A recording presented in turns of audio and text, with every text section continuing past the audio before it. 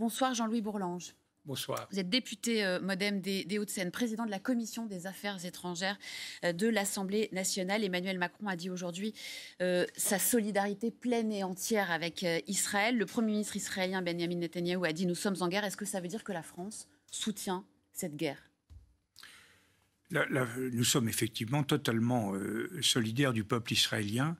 Nous sommes totalement, enfin personnellement, moi en tout cas, mais je crois que la plupart de mes collègues, sinon la totalité de mes collègues, sommes absolument horrifiés par euh, les actes terroristes qui ont été menés par le Hamas, exactement dans les termes euh, qu'employait le grand rabbin à l'instant, l'attaque sur des civils, la prise d'otages, l'humiliation, l'incarcération et, disons le mot, la déportation d'enfants, d'enfants, des, innocents absolus qui sont euh, euh, emmenés en euh, dans, le territoire de, dans la bande de Gaza et qui euh, serviront de monnaie d'échange ou seront massacrés.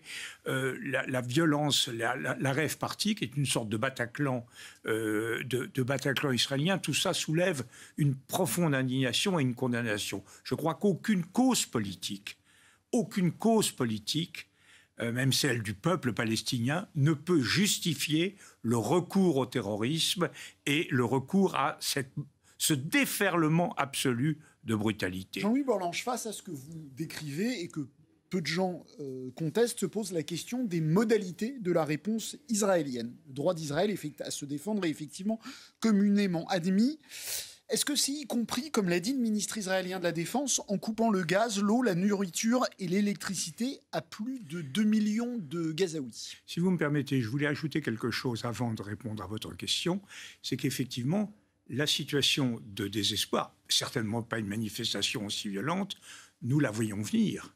Moi, nous l'avons vu venir au cours des mois précédents. Nous avons bien vu que la situation politique créée euh, par euh, l'interruption du processus de paix, la radicalisation de part et d'autre, les mesures prises par le gouvernement euh, israélien créent une situation dans laquelle il n'y avait plus d'avenir. Il n'y a pas d'avenir pour le peuple, le peuple palestinien. Je crois que nous sommes moi, je suis de ceux, euh, vieux disciple de Rabin. je trouve que la solution des deux États était la seule elle est abandonnée, elle a été clairement abandonnée et elle n'a pas été remplacée. C'est là. Vous êtes comme beaucoup un orphelin euh, des accords. Euh, non, mais je suis un orphelin. Euh, je suis je, crois qu'on on aurait dit, on pouvait imaginer d'autres solutions que les deux États, mais rien n'a été proposé. Et ça, je crois qu'on a donc créé une situation. Alors, moi, je le dis très clairement, expliquer ne justifie pas. C'est pas parce qu'on explique une situation d'impasse dans laquelle l'ensemble des, des, populations euh, d'Israël et de Palestine euh, s'étaient placées qu'on doit le moins du monde justifier, cautionner ce qui s'est passé. On vous a très bien maintenant, je vous réponds, je, vous réponds à votre question. Excusez-moi. Euh, alors, moi, je, je, je m'interroge. Qu'est-ce que je ferais, parce que c'est comme ça qu'un homme politique réagit, qu'est-ce que je ferais si j'étais le Premier ministre, le chef du gouvernement israélien? À vrai dire, je ne vois pas quelles sont réellement ses options. Son premier souci doit être, à mon avis, de sauver la vie des otages. D'abord, le premier souci, c'est de protéger Israël, de rétablir sa souveraineté, de rétablir son territoire. Ça, je crois que c'est pratiquement fait. Ça s'en est occupé. Deuxièmement, il s'agit effectivement de récupérer ces, ces, jeunes, ces personnes, ces femmes, ces enfants qui ont été pris en otage. C'est ça qui est en cause. Et je crois que c'est très, très difficile. Alors, au-delà de ça, que peut-il faire? Vous posez une très bonne question.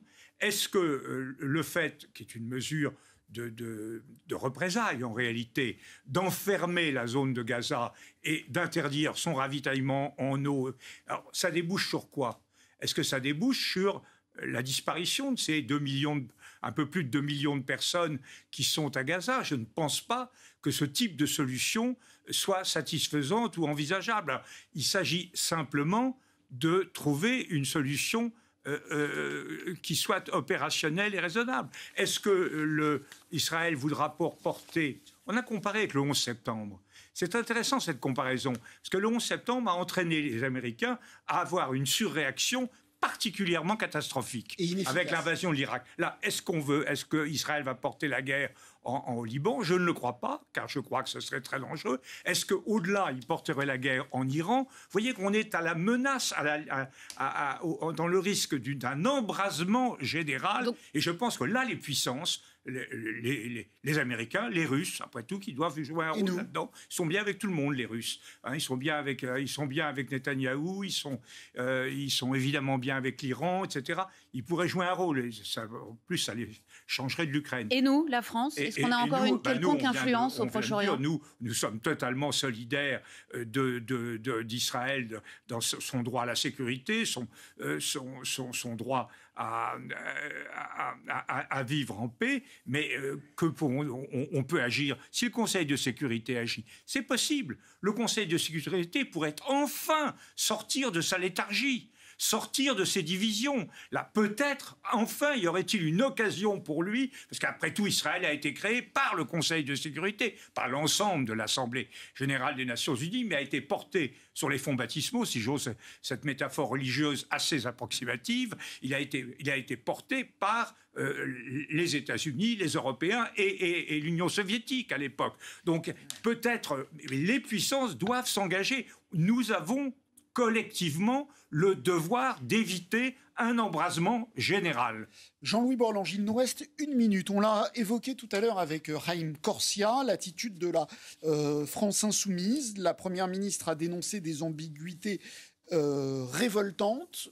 Est-ce que vous dites la même chose? Est-ce que vous avez le sentiment, comme on dit, que le est sorti ou ressorti de l'arc républicain Écoutez, je crois qu'il y a eu euh, parmi, moi je ne vais pas euh, porter de jugement sur gl- globalement sur des déclarations de plusieurs collègues. Je crois qu'elles n'ont pas été les mêmes selon, selon les collègues. Je remarquerai une chose, c'est que M. Mélenchon a appelé à la concorde, a appelé à la résorption euh, des, des luttes.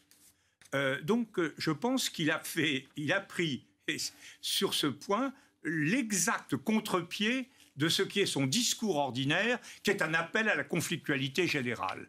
Ben moi, je suis effectivement pour la concorde et je suis contre la conflictualité et je crois que nous avons le devoir, le devoir, premièrement, de faire baisser la tension, deuxièmement, d'éviter un embrasement plus général et troisièmement de dégager une solution qui permette aux Palestiniens, qui sont les grands oubliés des 30 dernières années, d'avoir une vie collective normale. Voilà ce que je, je crois et, et en tout cas, euh, moi, je, par rapport à quiconque, je ne cautionne en rien, ni de près, ni de loin. La fin ne justifie pas les moyens. Compris. Je ne cautionne en rien ce déferlement abominable de violence. Nous sommes solidaires du peuple israélien, de sa souffrance et de ses malheurs. Merci beaucoup d'être venu le dire ce soir sur le plateau du 19-20 de France Info. Jean-Louis Bourlange, président de la Commission des Affaires étrangères euh, de l'Assemblée nationale. Et merci à vous, Gilles Bornstein.